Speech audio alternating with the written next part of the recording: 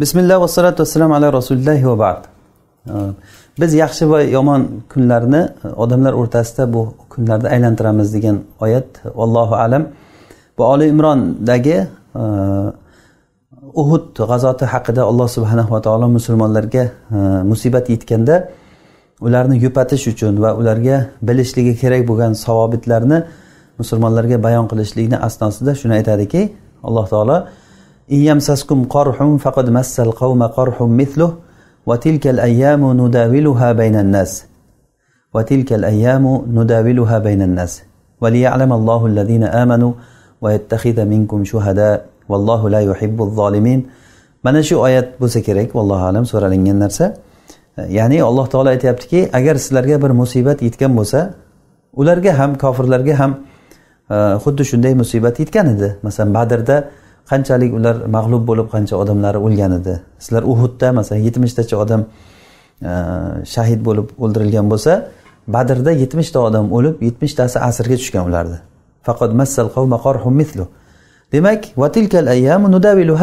mana shu kunlarni biz odamlar o'rtasida aylantiramiz. Bir kuni sizlarga g'alaba kelsa bir kuni ularga g'alaba keladi. Demak bu narsa alloh subhanahu va taoloni sunnati sunnatul mudavvala deyiladi. Ya'ni bu odamlar o'rtasida alloh subhanava taolo kunlarni aylantirishligi. Bunda insonni hech qanday bu yerda e, ishini e, bir ta'siri bo'lmaydi. Alloh taolo bir xohlasa bir ummatga ko'p e, rizq beradi kuch quvvat beradi. Xohlasa bir ummatga beradi bundan olib bunga beradi. Bunda alloh subhanava taoloni qilayotgan ishi albatta bir hikmat bilan odamlarni sinash uchun odamlarni imtihon qilishlik uchun alloh taolo mana shunday qiladi. Shu oyatni davomida alloh taolo aytyaptiki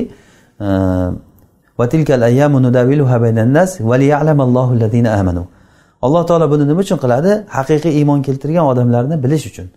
Ya'ni haqiqiy iymon keltirgan odamlarni bilish uchun alloh subhanahu va taolo ya'ni bilish uchun degani alloh taolo bilmas ekan keyin bilar ekan degani emas bu. Ya'ni bu degani alloh taoloni bilishligidagi bilgan narsasi voqega chiqish uchun. Olloh biladi masalan shaytonni qalbida kibr va shunday bir kasallik marazi borligini bilardi alloh taolo va mana shuni keyin chiqarish uchun odamga sajda qilgin dedi. Farishtalarga aytdiki odamga sajda qilinglar deganda hamma birdaniga sajda qildi. Illo iblis sajda qilmadi. Ollohni ilmidagi narsa chiqdi voqega xuddi shunday alloh taolo voqega o'zini ilmidagi narsani voqega chiqarishlik uchun mana shunday odamlarni qiyinchilik bilan va yengillik bilan imtihon qiladi. Fitna. Alloh taolo aytadiki biz sizlarni qiyinchilik yomonliklar bilan va yaxshiliklar bilan sinaymiz imtihon qilamiz. Mana bu ham xuddi shunday. Bu kunlarni biz odamlar o'rtasida aylantiramiz. Bu sunnat alloh subhanahu va taoloni sunnatul mudavvala deb ataladigan sunnati.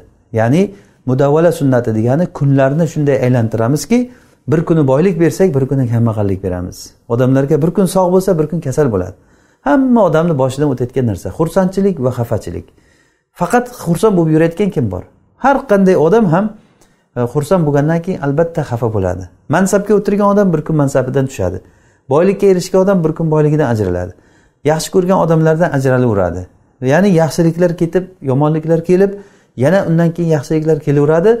Buni oqibatida alloh subhanava taolo odamlarni haqiqiy iymonlisi kim va munofiq odam kim kofir kim undan ajratishlik uchun. Va yana alloh taoloni bir maqsadi minkum shuhada sizlarni ichlaringda biz shahidlarni olishligimiz uchun degan. Demak alloh subhanava taoloni bu bizga beradigan xursandchiliklari va bizga beradigan qiyinchiliklari hammasi ollohni mudavvala sunnatiga kiradi. Mudavvala degani mana shu kunlarni holatlarni aylantirishlik. Bir holatdan ikkinchi holatga ko'chirib o'tkazishlik. Mana bani isroil qanday fir'avnni iskanjasini tagida yotgan holatida keyin ularni qanday holatga chiqardiki ularga hech qanday ustilarida boshliq yo'q balki ularni butun olamlar uzra ularni sayyid qildi. Ularga payg'ambarlar yubordi. Faqat payg'ambarlar ularni boshqarardi. Ularga o'zini ne'matini shunday rangi to'kib tashladiki osmondan go'shtlar osmondan shirinliklar yog'dirdi ustlariga. Mana bu alloh taoloni katta bir ne'mati edi. Mana buni nima uchun berdi? Buni tamkin ya'ni insonlarga alloh taolo imkon berdi o'shandan keyin odamlarni imtihon qilishlik uchun.